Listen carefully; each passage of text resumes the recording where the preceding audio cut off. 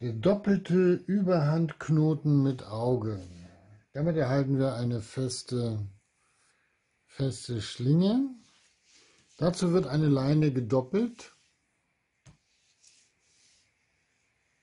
Es wird ein Überhandknoten gemacht und die, die Bucht noch einmal ins, durch das Auge gesteckt. Zugezogen man den doppelten Überhandknoten mit Auge.